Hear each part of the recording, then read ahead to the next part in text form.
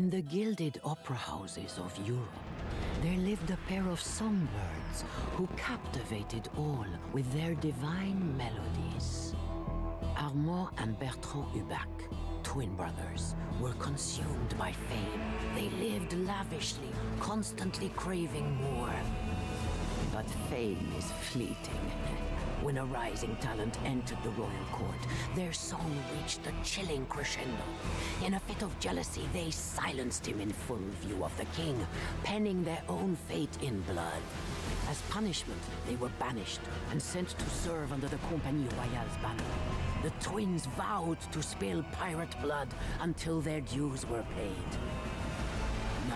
They spread their deadly song from sea to shore, sailing for the Indian Ocean in a final bid for freedom, and to orchestrate their chorus of havoc.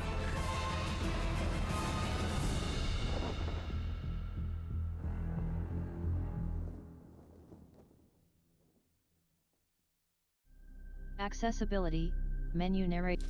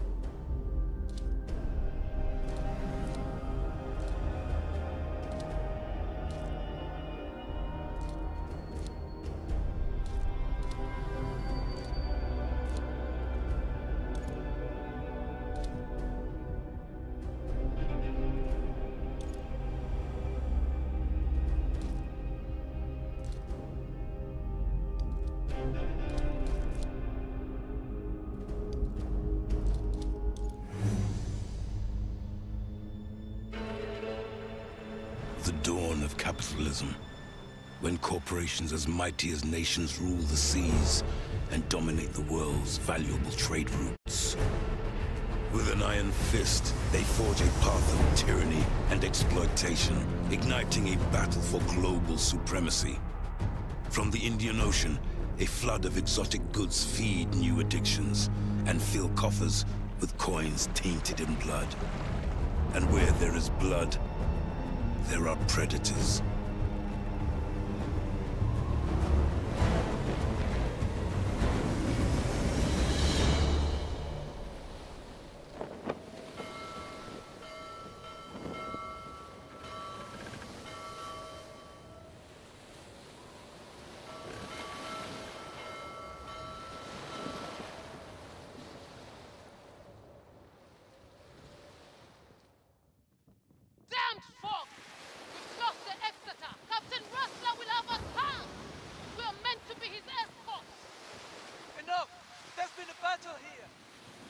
British have passed this way! I hope that's not what remains of the Exeter's cargo! Captaini!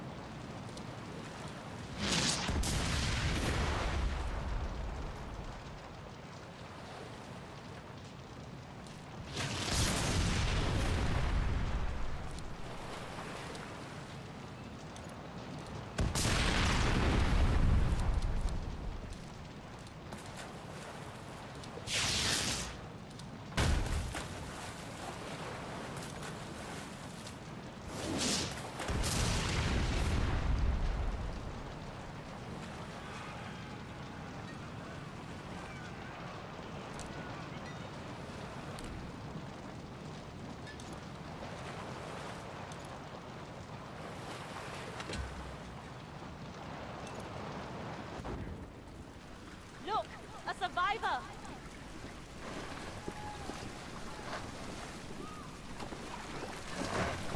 Harry, the British fleet will still be near. Take my hand! You're not dying today!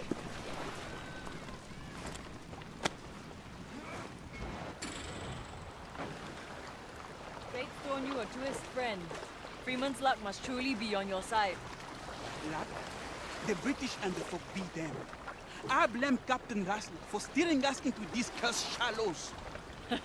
We survived the battle, and now you arrive to help crew the Dhow. I would say our fortune's on the rise, no? There's a certain yearning in your eyes. I've seen the same glint in others before. I'm sure you will steer us true to St. Anne.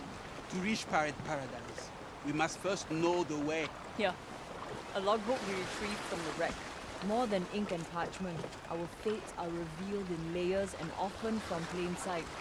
Perhaps this will help you chart your path forward, friend. Make yourself useful. Take the tiller before the damn British return. I'll work the sails. The wind favors the fearless. Let us chase it. Among the scattered survivors, one must surely know the way to St. Anne. Freeman's luck, guide us.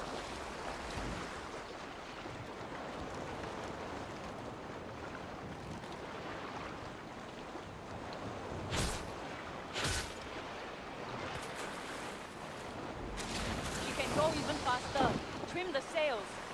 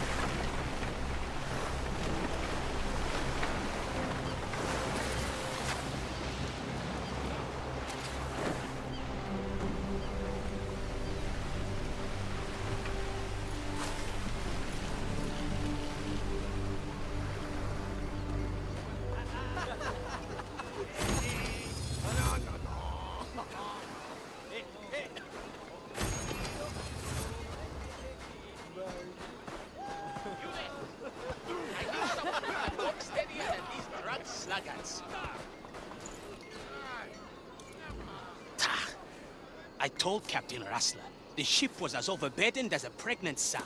We may have lost the British in the fog, but also the race against these cursed elements. See now, the Exeter's guts spilled across these shallows. And I'm surrounded by drunken sluggards who believe they are doomed to this hellish rock. And where were you, Captain, while the Exeter was hounded by British frigates? No doubt cowering in your quarters, like the filthy bilge rat you are.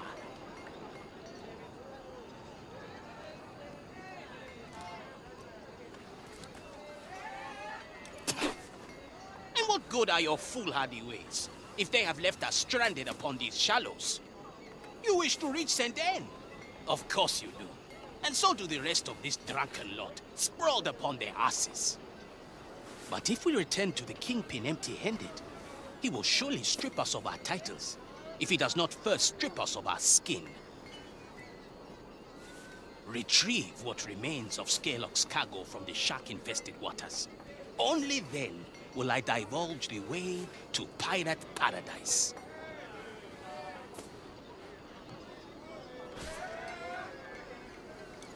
Good. Now make haste.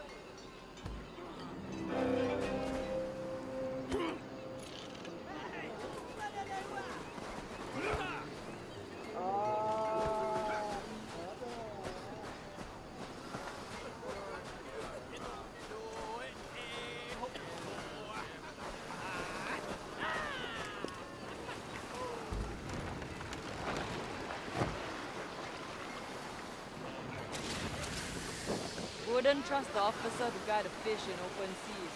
But if the bugger knows the way to St. Anne, we need to get Scurlock's cargo. We can hunt these fish for food. You must track fast. Those corpses. We might have to search them.